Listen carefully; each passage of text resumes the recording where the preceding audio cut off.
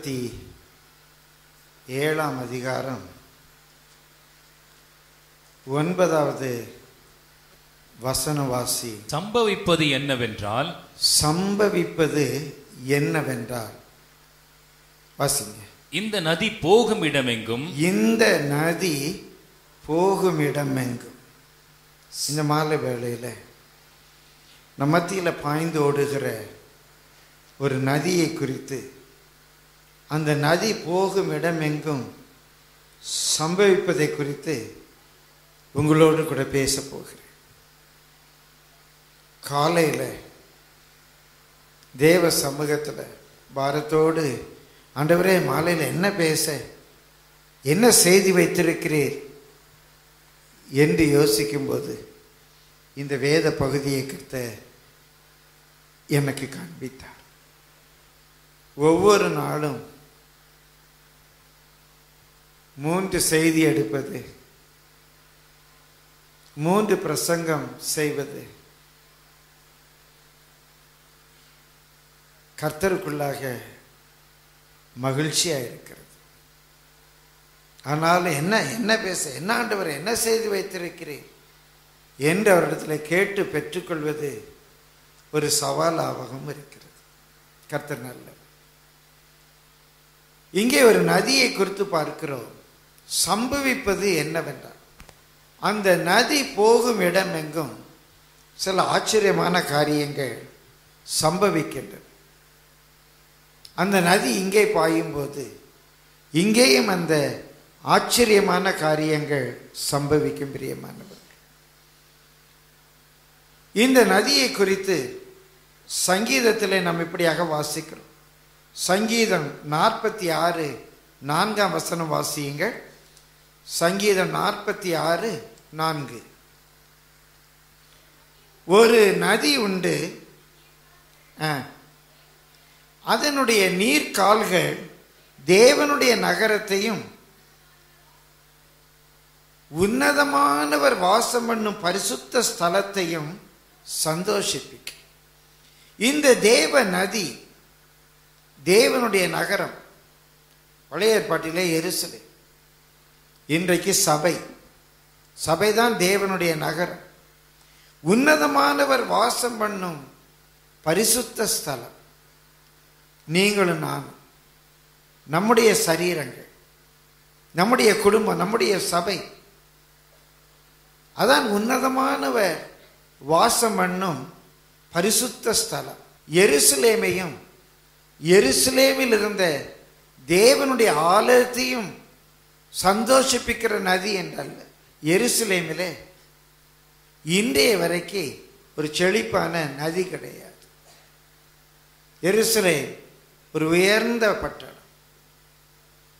எந்த நதியும் அங்கே இன்றைய வரைக்கும் பாயவில்லை. பல ராஜாக்கள் பல வாய்க்கால்கள் மூலமாக அங்கே தண்ணீர் கொண்டு வந்து அந்த இடத்தை செழிப்பாக்கி இருக்கிறார் ஆனால் அங்கே எந்த நதியும் பாயவில்லை. சங்கீதக்காரர் சொல்லுகிறார் தேவனுடைய நகரத்தில் ஒரு நதி பாயும்? தேவனுடைய பரிசுத்த ஸ்தலத்தை அந்த நதி சந்தோஷிப்பிக்கும்? இந்த வசனம் சங்கீதக்காரன் மாத்திரமல்ல யோவேல் மூன்றாம் அதிகாரம் பதினெட்டாம் வசனத்திலே வாசிக்கிறோம். யோவேல் மூன்றாம் அதிகாரம் பதினெட்டாம் வசனம் இப்படியாக சொல்லுகிறது. அக்காலத்தில் அக்காலத்தில் பர்வதங்கள் திராட்சை ரசத்தை பொழியும் பர்வதங்கள் திராட்சை ரசத்தை பொழியும் மலைகள் பாலாய் ஓடும் மலைகள் பாலாய் ஓடும் யூதாவின் ஆறுகள் எல்லாம் பிரவாகித்து ஓடும் யூதாவின் ஆறுகள் எல்லாம் பிரவாகித்து ஓடும். ஒரு காலம் என்று சொன்னது அங்கே கடைசி காலத்தை பற்றி சொல்லப்பட்டிருக்கிறது. பர்வதங்கள் திராட்சை ரசத்தை பொழியும். அவர்கள் பார்த்திருக்கிறார். மலைகள் பாலாய் ஓடும். யூதாவின் ஆறுகள் எல்லாம் பிரவாகித்து ஓடும். சொல்லுகிறார் ஒரு ஊற்று கர்த்தருடைய ஆலயத்திலிருந்து புறப்பட்டு ஒரு ஊற்று கர்த்தருடைய ஆலயத்திலிருந்து புறப்பட்டு. அந்த ஆலயத்தை சாலமோன் கட்டினான். சாலமோன் கட்டின ஆலயத்திலிருந்து எந்த ஊற்றும் புறப்படவில்லை. யோவேல் தீர்க்க தரிசனம் சொல்லும்போது சாலமோன் கட்டின ஆலயம் இருந்தது.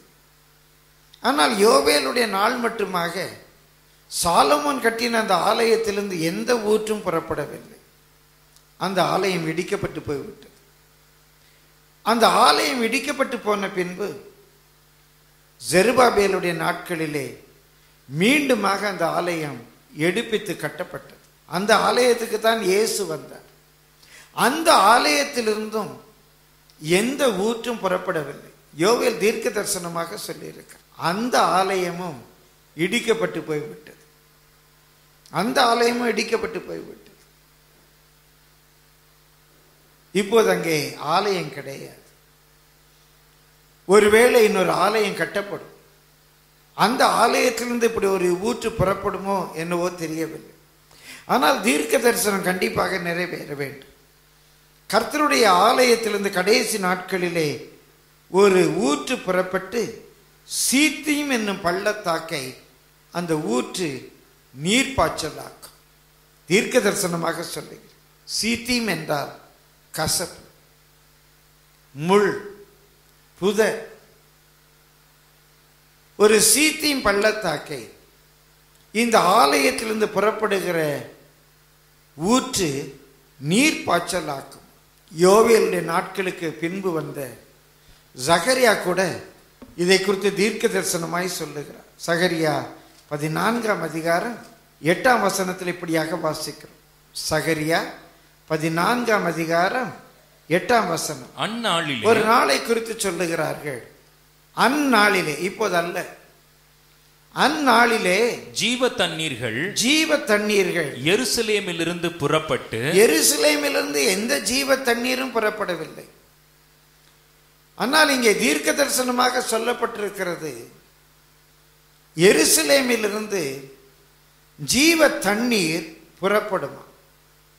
எருசலேமிலிருந்து ஜீவ தண்ணீர் புறப்பட்டு பாதி கிழக்கு சமுத்திரத்துக்கும் பாதி கிழக்கு சமுத்திரத்துக்கும் பாதி மேற்கு சமுத்திரத்துக்கும் போய் பாதி மேற்கு சமுத்திரத்துக்கும் போய் மாரி காலத்துக்கும் மாரி காலத்துக்கும் கோடை காலத்துக்கும் கோடை காலத்துக்கும் இருக்கும். இருக்கும். ஜீவ தண்ணீர் மாரி காலமானாலும் அதிலே தண்ணீர் இருக்கும். கோடை காலமானாலும் அதிலே தண்ணீர் இருக்கும். கர்த்தருடைய ஆலயத்திலிருந்து இப்படி ஜீவ தண்ணீர் உள்ள நதிகள் புறப்படும் என்ற தீர்க்க தரிசனம் இருக்கு. இதை குறித்து தான் இன்னும் விவரமாக எசேக்கியல் சொல்லி இருக்கிறார் நான் வாசித்த வேத பகுதியிலே ஒன்றாம் வசனத்தில் இவ்விதமாக வாசிக்கிறோம். வாசியங்கள் ஒன்றாம் வசனம். பின்பு அவர் என்னை ஆலயத்தின் வாசலுக்கு திரும்பி வர பண்ணினார் அவர் என்னை ஆலயத்தின் வாசலுக்கு திரும்பி வர பண்ணினார். இதோ வாசற்படியின் கீழ் இருந்து தண்ணீர் ஆலயத்தின் வாசற்படியின் கீழ் இருந்து தண்ணீர் புறப்பட்டு தண்ணீர் புறப்பட்டு கிழக்கே ஓடுகிறதா இருந்தது. கிழக்கே ஓடுகிறதா இருந்தது. ஆலயத்தின் முகப்பு கிழக்கு நோக்கி இருந்தது. ஆலயத்தின் முகப்பு கிழக்கு நோக்கி இருந்தது. அந்த தண்ணீர் ஆலயத்தின் வலதுபுறமாய் பலிபீடத்துக்கு தெற்கே பாய்ந்தது. அழகாக அதை பார்க்கிறார். ஆலயத்துக்கு வலதுபுறமாக அந்த தண்ணீர் தெற்கே பாய்ந்தது அவர் என்னை வடக்கு வாசல் வழியாய் புறப்பட பண்ணி.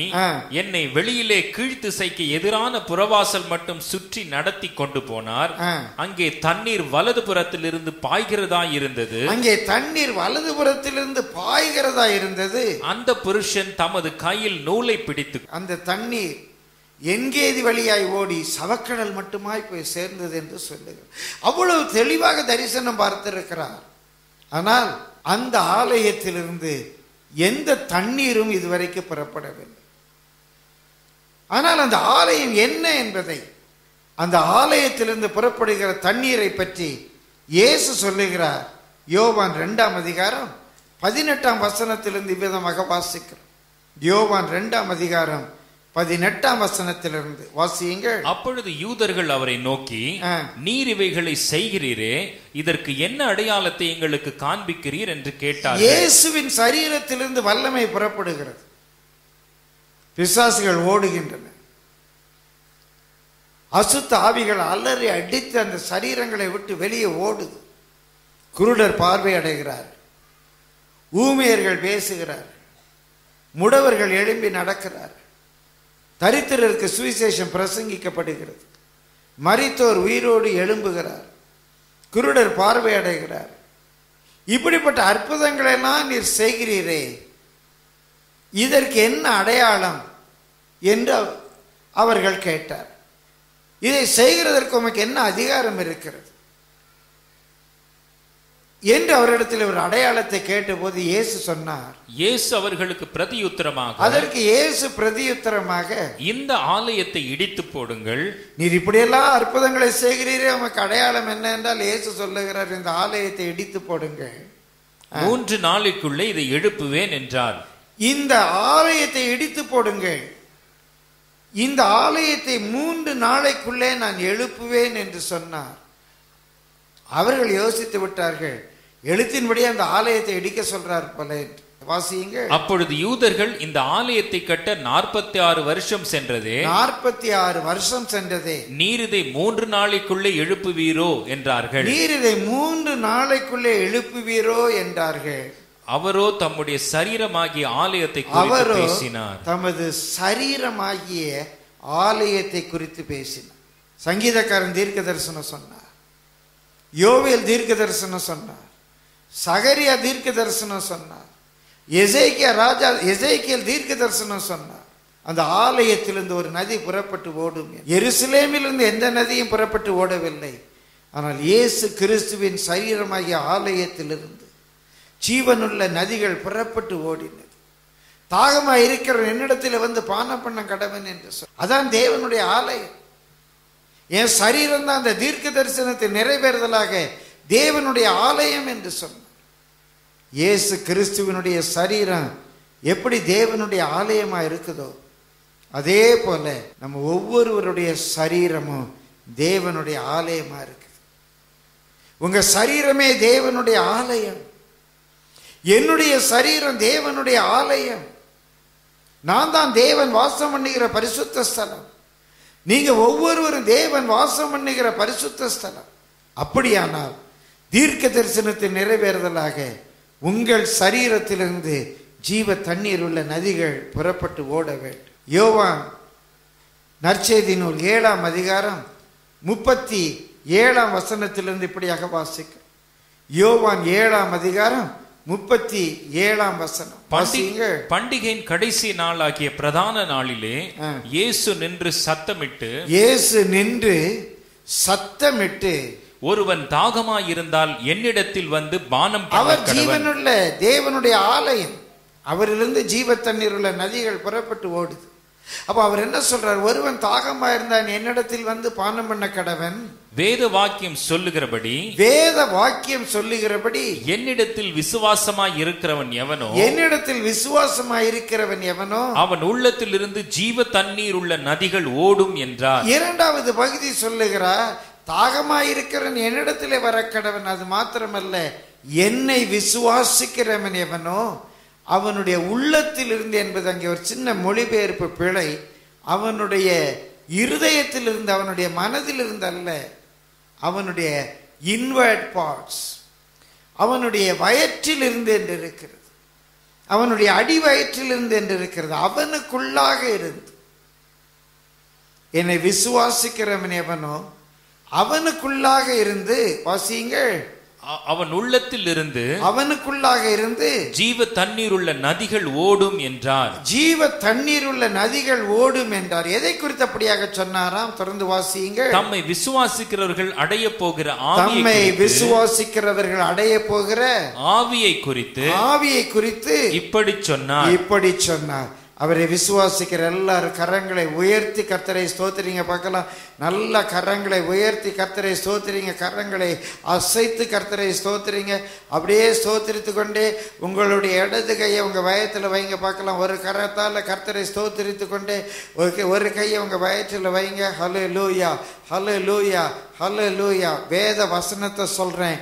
நீங்க அவரை விசுவாசிக்கிறவர்களா இருந்தால் நீங்கள் பரிசுத்தாவியை பெற்றுக்கொண்டவர்களா இருந்தால் உங்க சரீரத்திலிருந்து உங்களுடைய சரீரத்திலிருந்து ஜீவ தண்ணீர் உள்ள நதிகள் புறப்பட்டு ஓடும். உங்க சரீரத்திலிருந்து ஜீவ தண்ணீர் உள்ள நதிகள் புறப்பட்டு ஓடும். நீங்க தான் ஜீவனுள்ள தேவனுடைய ஆலயம். தேவனுடைய ஆலயத்தினுடைய படியின் அடியிலிருந்து அந்த வாசலின் அடியிலிருந்து காணப்படுகிற தண்ணீர் உனக்குள்ளாக இருந்து உனக்குள்ளாக இருந்து நல்ல விடுதலையோடு விசுவாசிங்க. நீங்கள் பெற்றுக்கொண்டிருக்கிற நீங்கள் பெற்றுக்கொண்டிருக்கிற பரிசுத்த ஆவியை குறித்து இயேசு இப்படி சொல்லுகிறார். நீங்கள் பெற்றுக்கொண்டிருக்கிற பரிசுத்த ஆவியை குறித்து இயேசு இப்படி சொல்லுகிறார். எனக்குள்ள பரிசுத்த ஆவி இருக்குமானால் என் சரீரத்திலிருந்து ஜீவ தண்ணீர் உள்ள நதிகள் புறப்பட்டு ஓடும். இயேசு தேவனுடைய ஆலயம் அவர் சரீரத்திலிருந்து ஜீவ தண்ணீர் உள்ள நதிகள் புறப்பட்டு ஓடின. ஒருவேளை மூன்றாவது மகிமையான ஒரு தேவாலயம் கட்டப்படலாம். ஒருவேளை எழுத்தின்படி தீர்க்க தரிசனத்தின் நிறைவேறுதலாக அங்கே ஒரு ஊற்று வரலாம். ஆனால் இன்றைக்கு தீர்க்க தரிசனமாக ஆவிக்குரிய பிரகாரமாக இந்த தீர்க்க தரிசனம் நம்முடைய வாழ்க்கையில் என்னுடைய வாழ்க்கையில் உங்களுடைய வாழ்க்கையிலே பரிசுத்தவான்களுடைய வாழ்க்கையிலே நிறைவேறி கொண்டிருக்கிறது. கர்த்தர் நல்லவர் பிரியமானவர். கண்டிப்பாக அவரை விசுவாசிக்கிற நம்மிலிருந்து ஜீவ தண்ணீர் உள்ள நதிகள் புறப்பட்டு ஓடும். இவ உங்களிலிருந்து ஜீவ தண்ணீர் உள்ள நதிகள் புறப்பட்டு ஓடுமானால் சம்பவிப்பது என்ன தெரியுமா? ஒன்பதாவது வசனம் வாசியுங்கள். ஒன்பதாவது வசனம்.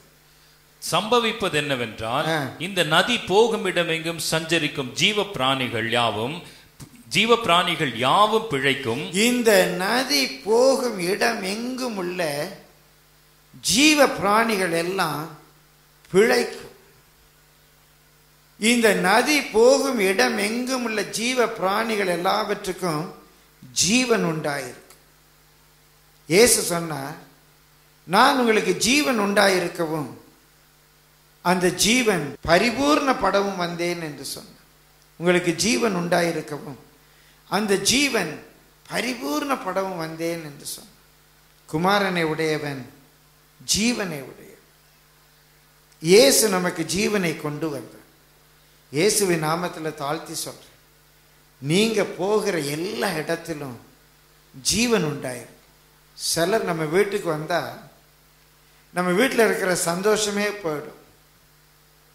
அவங்க வந்துட்டு பேசிட்டு போனாலே வீட்டில் சண்டை வந்துடும் அந்த ஆண்டி அந்த அக்கா அந்த அண்ணன் அந்த ஊழியக்காரர் வந்துட்டு போனாங்கன்னா கொஞ்ச நேரத்தில் புருஷன் மனைவிக்குள்ள சண்டை வந்துடும் பெற்றோர் பிள்ளைகளுக்குள்ள சண்டை வந்துடும் இருந்த சமாதானம் கூட போயிடும். சிலர் வந்தாங்கன்னா வீட்டுக்கு மரணம் தான் வரும். அவங்களுக்குள்ள அப்படிப்பட்ட ஒரு அசுத்த ஆவி சண்டை மூட்டுற ஆவி. சமாதானத்தை கெடுக்கிறார். சிலர் வந்தாங்கன்னா வீட்டில் சாவே வந்துடும் அவர் ஒரு மூணு நாள் இருமிக்கிட்டு இருக்கிறார். இப்போ பக்கத்து வீட்டிலேருந்து ஒரு பிரதர் வந்தார்.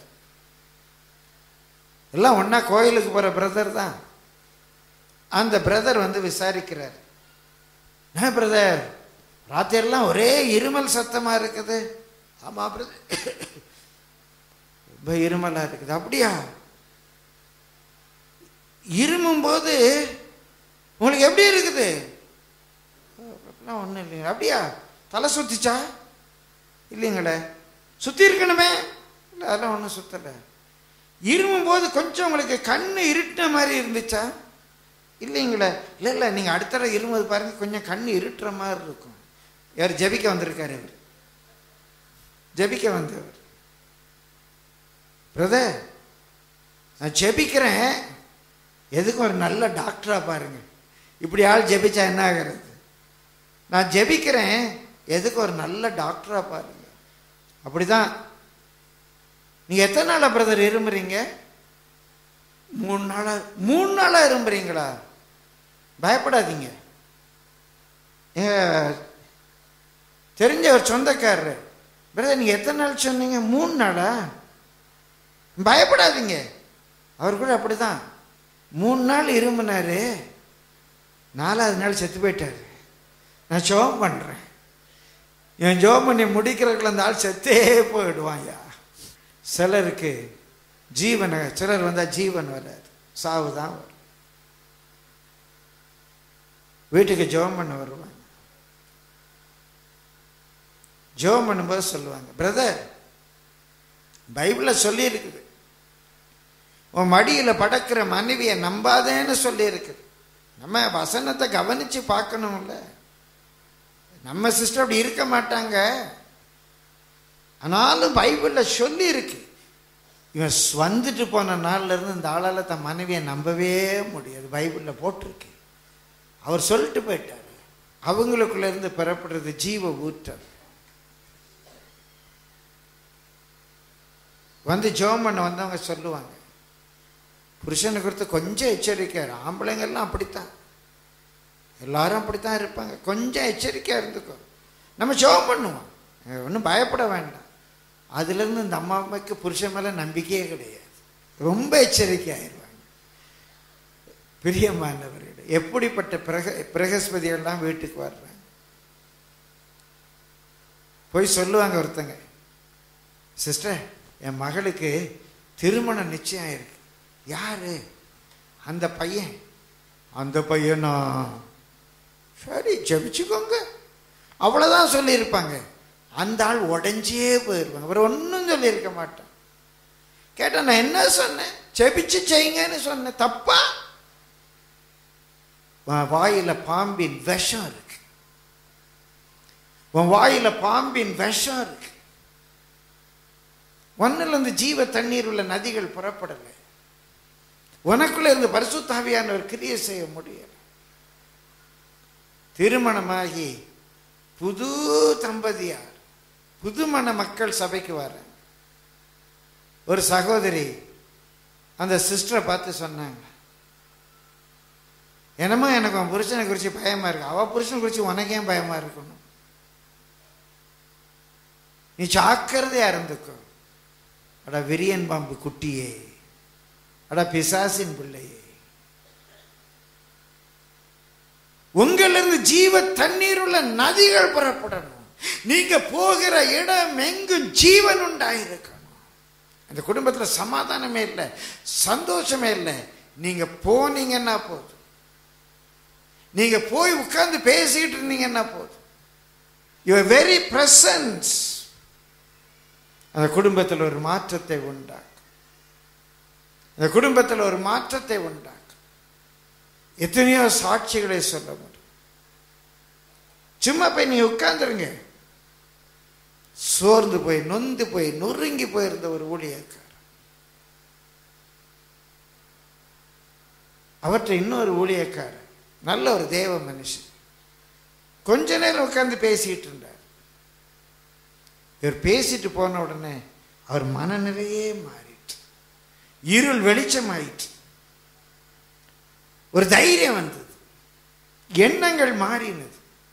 நீங்க போகிற இடம் எங்கும் ஜீவன் உண்டாயிருக்கணும் மரணம் ஜீவனாய் மாறணும் பிரியமானவர் அதான் அந்த நதி சம்பவிப்பது என்னவென்றால் இந்த நதி போகும் இடம் எங்கும் உள்ள ஜீவராசிகள் தமிழில் யாவும் பிழைக்கும் என்று இருக்குது ஆங்கிலத்தில். They shall receive life they shall have life அவங்களுக்கு ஜீவன் உண்டாயிருக்கும் வேலை ஸ்தலத்தில் எத்தனையோ பேர் ஜீவன் இல்லாமல் இருக்கு. சமாதானம் இல்லாமல் இருக்காங்க. சந்தோஷம் இல்லாமல் இருக்காங்க. குடும்பத்தில் ஐக்கியம் இல்லாமல் இருக்கிறாங்க. கணவன் மனைவி பிரிஞ்சிருக்கிறாங்க. பெற்றோர் பிள்ளைகளிடத்தில் சமாதானம் இல்லை. கர்த்தருடைய பரிசுத்த நாமத்துக்கு மயிமை உண்டாகும்.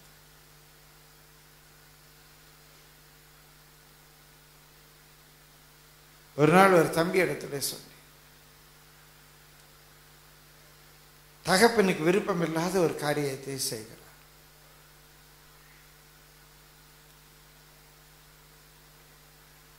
நான் கேட்டேன் நீங்கள் என்ன பண்ணீங்க நான் மேக்சிமம் ட்ரை பண்ணிட்டேன்.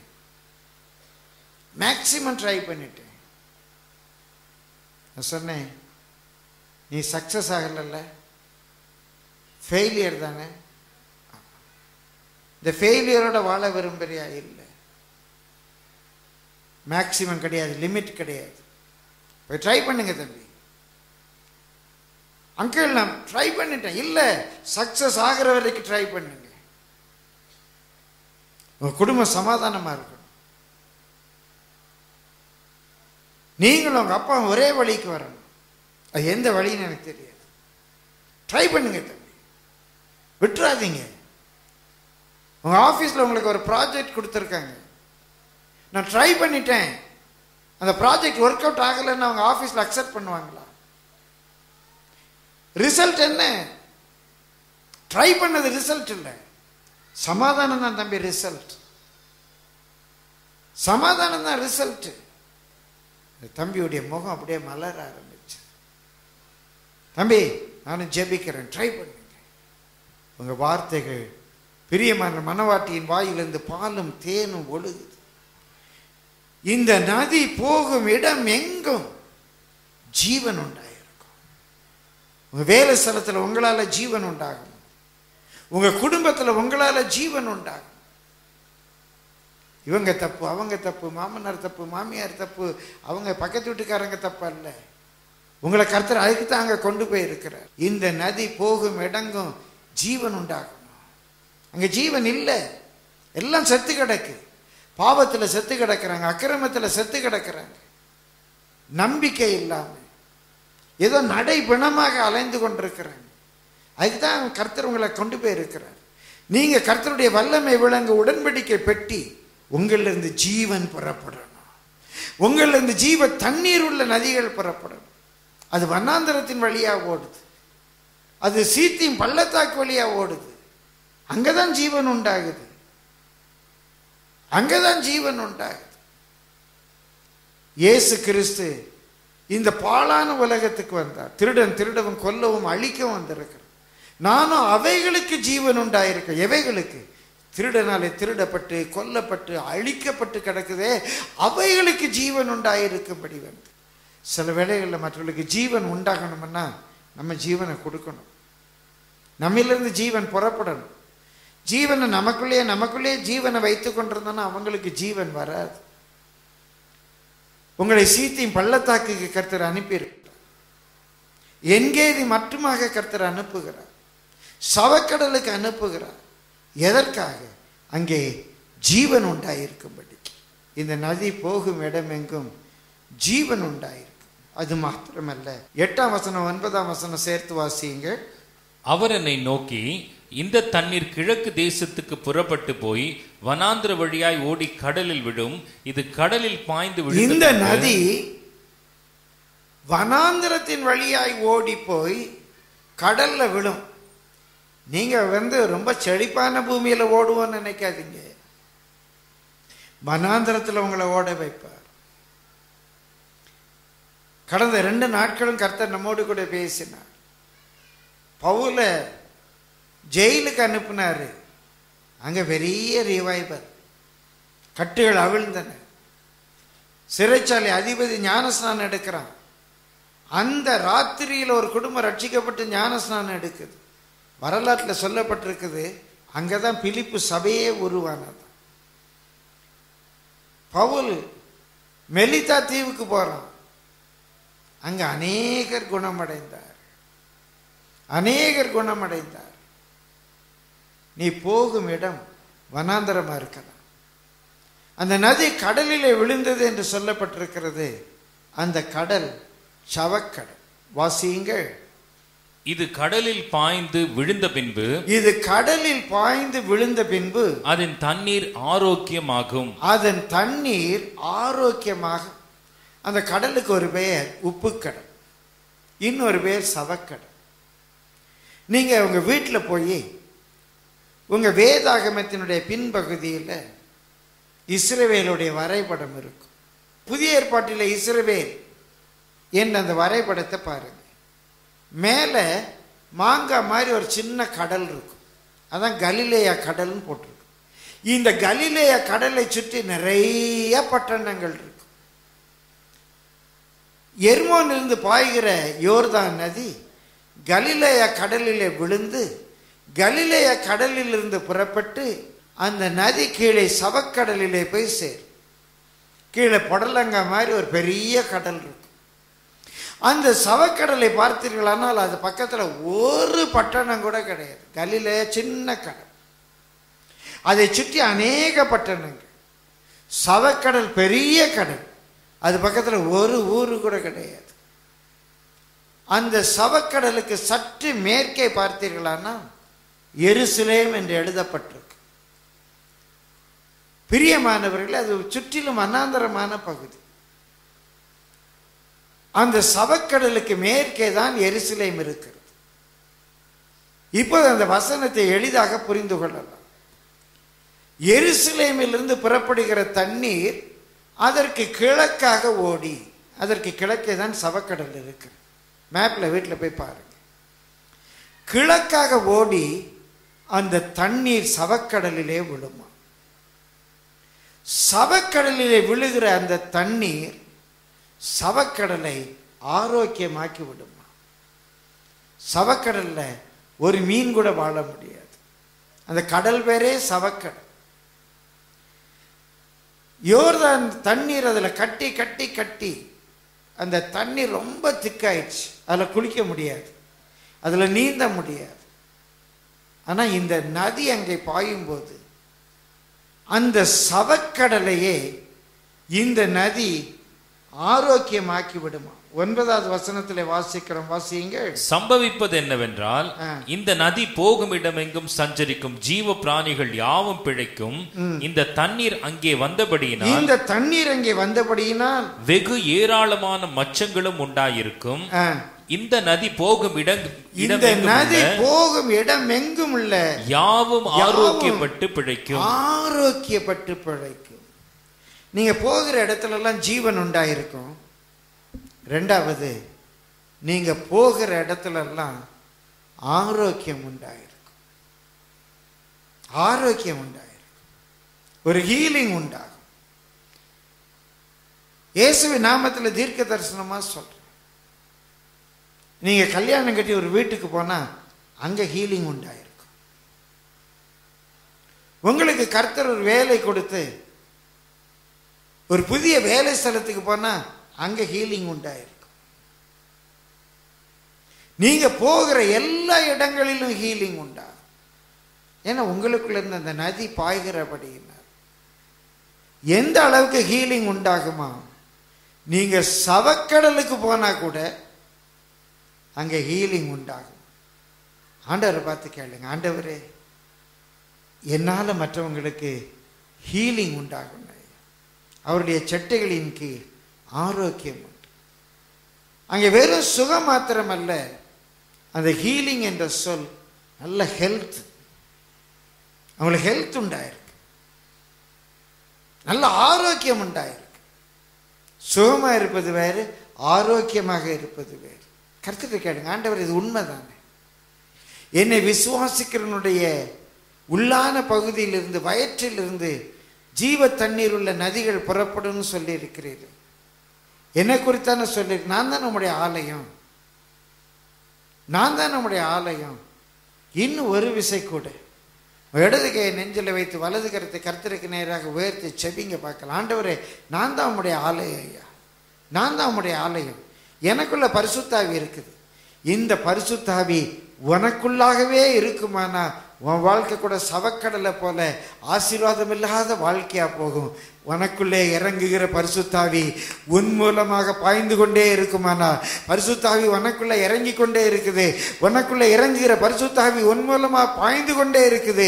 நீ தான் கலிலேயா கடல் நீ தான் ஆசீர்வாதமான கடல் நீ தான் ஆரோக்கியத்தை தருகிற கடல். பரிசுத்தாவியை பெற்றுக்கொள்ளுகிறாய். பரிசுத்தாவி உனக்குள்ளே இருந்து பாய்குது பரிசுத்தாவியை பெற்றுக்கொள்ளுகிறாய். பரிசுத்தாவி உனக்குள்ளே இருந்து பாய்குது பிரியமானவர்களே எர்மோன் மலை தேவனுடைய சமூகத்தை காட்டுகிற காட்டுகிறது அது எருமோன் மலையிலிருந்து எரு சியோனில் இறங்குகிற பனி. நீதான் சியோன். எருமோன் தேவனை காட்டுகிறது. தேவனிடத்திலிருந்து உன்மேல் இறங்குகிற பனி. உன்மேல் இறங்குகிற அபிஷேகம். உண்மையில் இறங்குகிற பரிசுத்த ஆவியானுடைய வல்லமை உன் மூலமாக பாய்கிறா உன் மூலமாக பாய்கிறா ஹலோ லூயா ஹலோ லூயா ஜீவ தண்ணீர் உள்ள நதிகள்.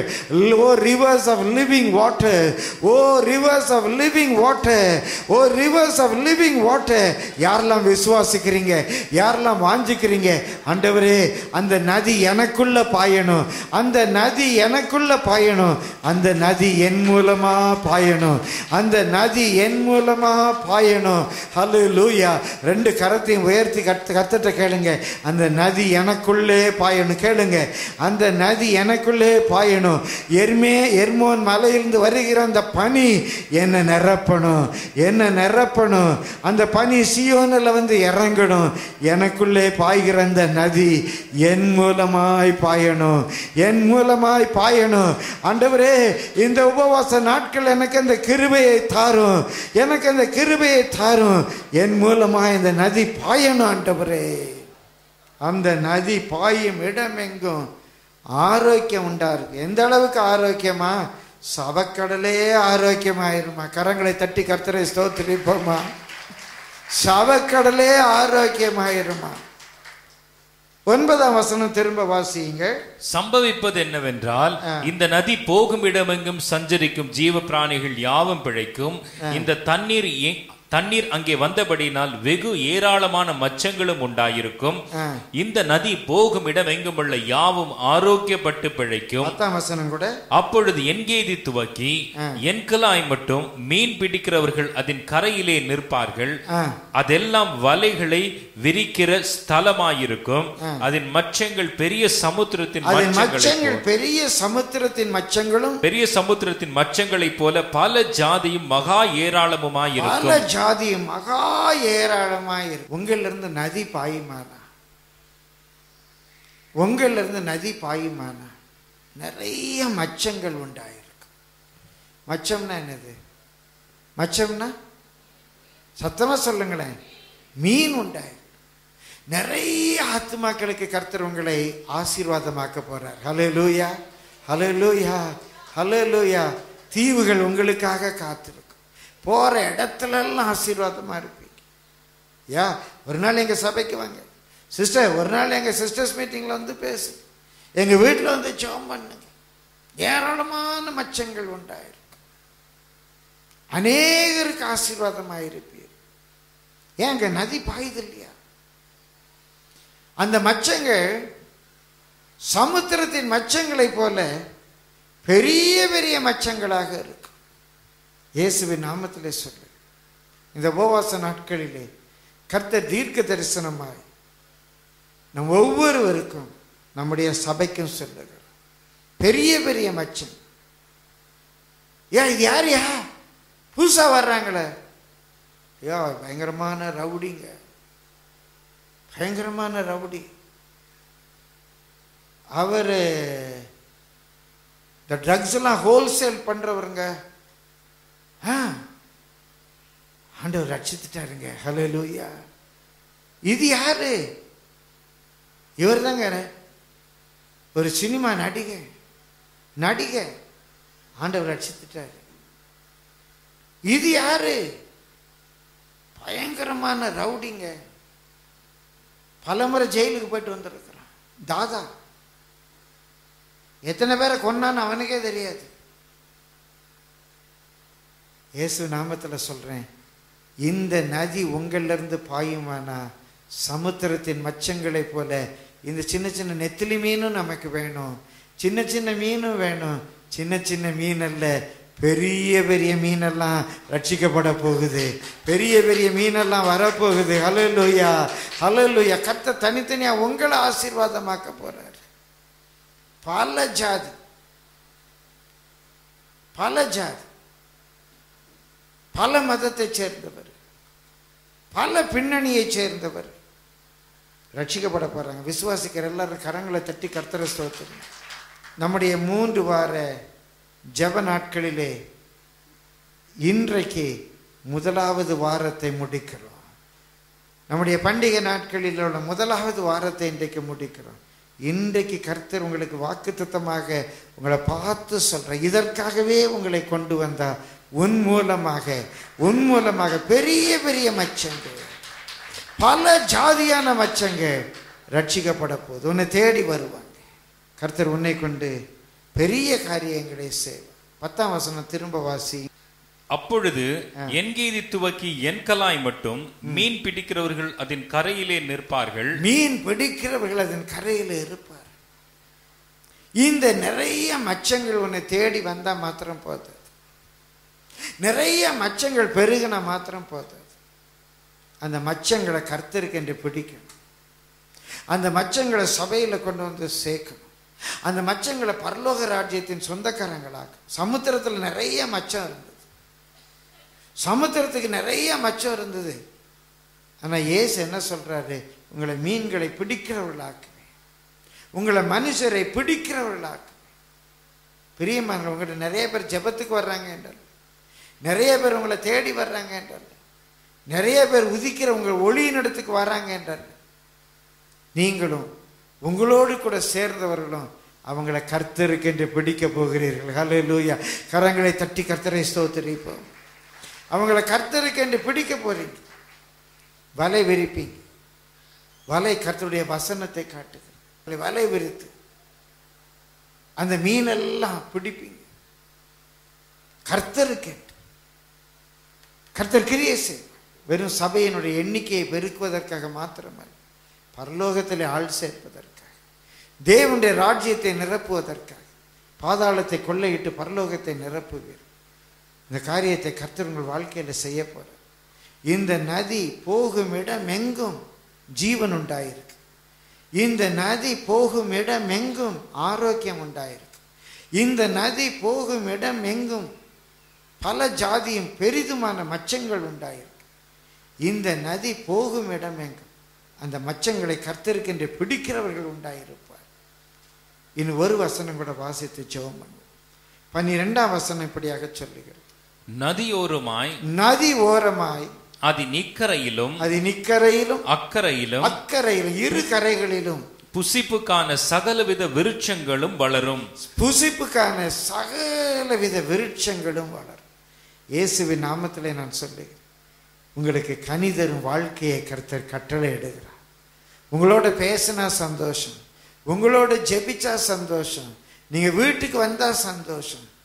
சிஸ்டர் பிரதர் தம்பி இயேசுவின் நாமத்தில் அன்பு மகனே மகளே உன் வாழ்க்கை கனி தரும் வாழ்க்கையாக மாறப்போகுது.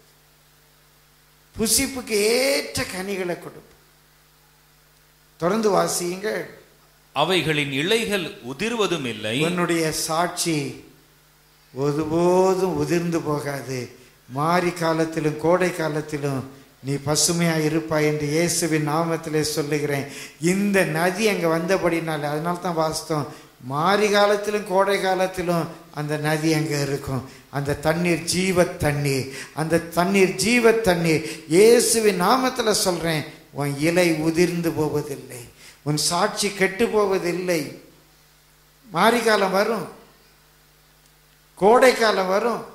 உஷ்ண காலம் வரும். வெயில் கொளுத்தும். நெருக்கங்கள் வரலாம். எப்போதுமே மாரிகாலமாக இருக்காது மாரிகாலமும் ஒருவரும் கிரியை செய்ய முடியாத நேரம். வெளியே போக முடியாது. கோடை காலம் வெயில் கொளுத்தது எல்லாம் வறண்டு போச்சு. அடிக்கிற அந்த வெயிலில் நீர்நிலைகளெல்லாம் வற்றி போச்சுது. ஆனால் இன்றைக்கு கர்த்தர் உன்னை பார்த்து சொல்கிறாரு கோடை காலத்திலும் உன் இலை உதிராது. உன் இலை உதிராது. இலை உதிர் காலம் வரும். ஆனால் ஓன் இலை உதிராது. ஏன் தெரியுமா? அந்த நதி பாய்கிறபடினால. விசுவாசிக்கிறவங்க கரங்களை தட்டி கர்த்தரை ஸ்தோத்திரிங்க. அந்த இலை சாட்சியின் ஜீவியத்தை காட்டு. நீ மற்றவர்களுக்கு ஜீவன் கொடுப்பது மாத்திரமல்ல. உன்னாலே மற்றவர்களுக்கு ஆரோக்கியம் உண்டாவது மாத்திரமல்ல. நீ எப்போதும் பசுமையாயிரு. உன் இலை பச்சை பசேர் என்று இருக்கு. உன் இலை உதிர்ந்து போகாது சிங்க குட்டிகள் தாழ்ச்சி அடைந்து பட்டினியாயிருக்கும் கர்த்தரை தேடுகிறவர்களுக்கோ ஒரு நன்மையும் குறையப்படாது என்று சொல்லப்பட்டபடி இயேசுவின் நாமத்தில் தீர்க்க தரிசனமாய் சொல்லுகிறேன் இந்த நதி பாய்கிறபடியினால உன் இலை உதிர்றதில்லை. வாசியுங்கள். அவைகளின் இலைகள் உதிர்வதும் இல்லை. அவைகளின் கனிகள் கெடுவதும் இல்லை நீ தர்ற கனி உலகத்தில் இருக்கிறது ஆப்பிள் கொடுத்தாலும் சரி ஆரஞ்சு கொடுத்தாலும் சரி எவ்வளவு விலை உயர்ந்த கனி நீ காஷ்மீர்லேருந்து கொண்டு வந்தாலும் சரி ஆஸ்திரேலியாவிலேருந்து கொண்டு வந்தாலும் சரி இந்த உலகத்தில் உள்ள எல்லா கனியும் பிரியமானுடைய ஆண்டவர் ஆச்சரியமாய் உங்களுக்கு சொல்லுகிறார் எந்த கனியானாலும் கெட்டு போகும். ஆனா நீ கொடுக்கிற கனி கெட்டு போவதே இல்லை. நீ கொடுக்கிற கனி கெட்டு போவதே இல்லை. விசுவாசிக்கிறவங்க கரங்களை தட்டி கர்த்தரை ஸ்தோத்திரிங்க பார்க்கலாம் அப்படி ஒரு கனி கொடுப்பார். உன்னிலே இருந்து புறப்படுகிற கனி கெட்டு போவதில்லை வாசியுங்கள். அவைகளுக்கு பாயும் தண்ணீர் பரிசுத்த ஸ்தலத்திலிருந்து பாய்கிறபடியினால் ஏன் தெரியுமா? நான் உங்களுக்கு அதை காட்டி முடிக்க போறேன். இந்த தண்ணீர் பரிசுத்த ஸ்தலத்திலிருந்து பாய்கிறபடியினால் மாதந்தோறும் புது கனிகளை கொடுத்து கொண்டே இருக்கும். நீ ஏதோ கனி கொடுத்து ஒரு சீசன் முடிஞ்சிடுச்சு என்று ஓய்ந்து விட மாட்டேன். ஏங்க அன்னாசி பழம் இருக்கா? இது அன்னாசி பழம் சீசன் இல்லைங்க. மாம்பழம் இருக்கா? இது மாம்பழம் சீசன் இல்லைங்க. இந்த சீசனில் மாம்பழம் கிடைக்காதுங்க. கிடைச்சாலும் அது ஏதோ ஒரு செயற்கையாக உள்ள பழங்க. இது மாம்பழத்துக்கு சீசன் இல்லை. ஏங்க நல்ல ஆரஞ்சு இருக்குதா?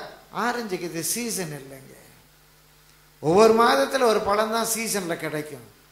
ஆனால் மாதந்தோறும் எல்லா சீசன்லையும் புது புது கனிகளை நீ கொடுத்துக்கிட்டே இருப்பாய். மாதந்தோறும் புது கனிகளை தரும். ஆ, அவைகளின் கனிகள் கெடுவதும் இல்லை அவை மாதந்தோறும் புது கனிகளை கொடுத்து கொண்டே இருக்கும். அவைகளின் கனிகள் புசிப்புக்கும் அவைகளின் கனிகள் புசிப்புக்கும் அவைகளின் இலைகள் அவிழ்தத்துக்கும் ஆனவைகள். அவிழ்தம் என்னன்னு தெரியுமா? அவிழ்தம்னா என்னன்னு தெரியுமா? அவிழ்தம். அவிழ்தம்னா நல்ல டானிக். ஔஷதத்தை விட கூடினது. அமிர்தம். அவிழ்தம். உன் வாழ்க்கை உன் பேச்சு உன்னுடைய பார்வை மற்றவங்களுக்கு அவிழ்தமாக இருக்கும். கத்திர பார்த்து கேளுங்க. ஆண்டவரே என் இலைகள் என் சாட்சி மற்றவங்களுக்கு அவிழ்தமாக இருக்கணும் ஐயா. அதன் இலைகள் அவிழ்தமாக இருக்கும். எவ்வளோ பெரிய ஆசீர்வாதத்தை உனக்காக வச்சிருக்கிறார். இந்த நாட்களில் உபவாசம் இருந்து கர்த்தருடைய முகத்தை தேடுகிற உனக்கு கர்த்தர் வாக்களிக்கிறார். உன் வாழ்க்கை மற்றவங்களுக்கு அவிழ்தமா அமிர்தமா ஔஷதமா இருக்கும் உன் கனி புசிப்புக்கு இன்பமா இருக்கும் உன்னை இப்படி ஒரு ஆசீர்வாதமான வாழ்க்கையாக கருத்தர் மாற்றப்படுறார். இதுவரைக்கு வறண்ட நிலம் வயல்வெளியாகும். உலர்ந்த எலும்புகள் உயிரடை உன்னுடைய நுகத்தின் கட்டுகளை கருத்தர் அறுக்கிறார். உனக்குள்ளே ஒரு நதி பாயுது. அந்த நதி பரிசுத்த ஸ்தலத்திலிருந்து உனக்குள்ளே பாயுது. உனக்குள்ளே பாய்கிற நதி உன் மூலமாக பாயுது. இன்னும் கொஞ்ச நேரத்தில் ஒரு வசனத்தை உங்களுக்கு காட்டி கொடுத்து ஓ ஜீவ நதியே என்ற பாடலை சிஸ்டர் பாட போகிறாங்க அந்த பாடலில் ஒரு வரி வரும். எனக்குள்ளே பாயும் என் மூலமாய் பாயும். எனக்குள்ளே பாயும் என் மூலமாய் பாயும். அந்த பாடலில் பாடும்போது ஆண்டவரே அந்த நதி எனக்குள்ளே பாயட்டும். என் மூலமாய் பாயட்டும்னு ஒப்பு கொடுங்க சம்பவிப்பது என்னவென்று. இவன் என்ன சம்பவிக்கும் என்று எனக்கு தெரியாது. அந்த நதி பாயும்போது என்ன சம்பவிக்கும் என்று தெரியாது. ஒருவேளை இன்னும் ஒரு சிலருடைய வாழ்க்கையில் அவங்களை பலவீனப்படுத்தி கொண்டிருந்த ஆவி ஒருவேளை அவங்கள விட்டு போகலாம். ஏ தேவனுடைய தேவன் சீனாய் மலையில் இறங்கும்போது சீனாய் மலையே ஆடிச்சுதான் நீங்களும் நான் ஏமாத்துறோம். பயப்பட வேண்டாம். இந்த நதி எங்கே இருந்து நம்ம மேலே பாயுது? எங்கே இருந்து இந்த நதி நம்ம மேலே பாயுது தெரியுமா? வெளிப்படுத்தின விசேஷம். இருபத்தி ரெண்டாம் அதிகாரம் எடுத்துக்கொள்ளுங்க. ஒன்றாம் வசனத்திலிருந்து வாசி வெளிப்படுத்தின விசேஷம் இருபத்தி ரெண்டாம் அதிகாரம். நம்ம எல்லாரும் இந்த வசனத்தை வாசிக்கும் போது எழும்பி நிற்கலாம் என்று தோன்றுகிறது. எல்லாரும் எழும்பி நிற்போம்.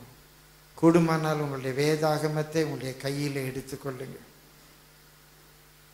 ஆவிக்குள்ளாக இருங்கள். பரலோகம் உங்களுக்காக திறக்கப்படட்டும். இது ஒரு பரலோகத்தினுடைய காட்சி. பயபக்தியாய் சிந்திக்கப்படும். வாசியுங்கள். பின்பு பின்பு பளிங்கை போல் தெளிவான ஜீவ தண்ணீருள்ள சுத்தமான நதி பளிங்கை போல தெளிவான தெளிவான ஜீவ தண்ணீர் ஜீவ தண்ணீருள்ள சுத்தமான நதி. சுத்தமான ஒரு நதி. ஒரு பெரிய தரிசனம் கிடைக்கும். கடைசி தரிசனம். கடைசி தரிசனம். வெளிப்படுத்தின விசேஷத்துல கடைசி தரிசனம். பளிங்கை போல தெளிவான ஜீவ தண்ணீர் உள்ள சுத்தமான நதி தேவனும் நல்ல கவனிங்க தேவனும் ஆட்டுக்குட்டியானவரும் ஆட்டுக்குட்டியானவரும் இருக்கிற சிங்காசனத்தில் இருக்கிற சிங்காசனத்திலிருந்து புறப்பட்ட- எல்லாரும் எல்லாரும் அப்படியே கவனிங்க. கொஞ்சம் என்ன பாருங்க. அந்த சிங்காசனத்துல யாரெல்லாம் இருக்கிறா சொல்லுங்க. நல்லா சத்தமா சொல்லுங்க. தேவனும் நல்லா சொல்லுங்க. நல்ல பைபிள்ல பாருங்க இந்த சிங்காசனத்துல யாரெல்லாம் இருக்கிறா? தேவனும். நல்லா அந்த வசனத்தை பாருங்க. திரும்ப அந்த வசனத்தை வாசிங்க. பின்பு பளிங்கை போல் தெளிவான ஜீவ தண்ணீர் உள்ள சுத்தமான நதி நதி. தேவனும் தேவனும். ஆட்டுக்குட்டியானவரும் ஆட்டுக்குட்டியானவரும். இருக்கிற இருக்கிற சிங்காசனத்தில். இருந்து. அப்ப சிங்காசனத்துல யாரெல்லாம் இருக்கிறா? தேவன் ஆட்டுக்குட்டியானவர் நதி எல்லாரும் கரங்களை தட்டி கருத்துற ஸ்தோத்திரிங்க பார்க்கலாம். அந்த சிங்காசனத்தில் மூன்று பேர் இருக்கிறாங்க. ஒரே சிங்காசனம். சிங்காசனம் ஆளுகையை காட்டுது. சிங்காசனம் வல்லமையை காட்டுது. சிங்காசனம் அதிகாரத்தை காட்டுது. சிங்காசனம் பரலோகத்தின் உன்னதத்தை காட்டுது. பிரியமானவர்களே பரலோகத்தில் எங்கேயோ ஒரு மூளை முடுக்கில் இருந்தல்ல. பரலோகத்தில் தேவனும் ஆட்டுக்குட்டியானவரும் பரிசுத்த ஆவியானவரும் இருக்கிற இருக்கிற அந்த சிங்காசனத்திலிருந்து ஒரு நதி புறப்பட்டு வருகிறது தேவன் காண்பிக்கிறார். இப்போ உங்கள் மேலே பாய போகிற நதி உங்கள் மேலே பாய போகிற நதி ஏதோ ராபர்ட் சைமன் ஜெபிக்கிறதுனால வர்ற நதி அல்ல. ஏதோ கொட்டு அங்கே இன்ஸ்ட்ருமெண்ட்ஸ் வாசிக்கிறனால வருகிற ஒரு நதி அல்ல. இந்த நதி ஜீவன் ஜீவன் தேவனும் ஆட்டுக்குட்டியானவரும் உட்கார்ந்திருக்கிற சிங்காசனத்திலிருந்து புறப்பட்டு உங்கள் மேலே பாய போகுது.